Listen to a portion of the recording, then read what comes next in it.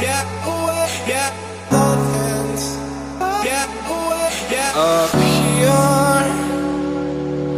we're free, bound only by frozen memories.